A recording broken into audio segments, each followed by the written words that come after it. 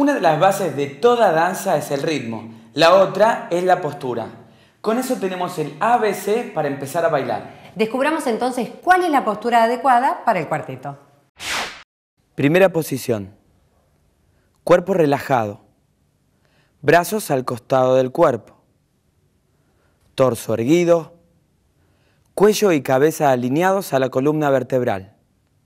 Pies juntos y con las plantas bien apoyadas en el piso. Primera posición. Cuerpo relajado. Brazos al costado del cuerpo. Torso erguido. Cuello y cabeza alineados a la columna vertebral. Pies juntos y con las plantas de los pies apoyadas en el piso.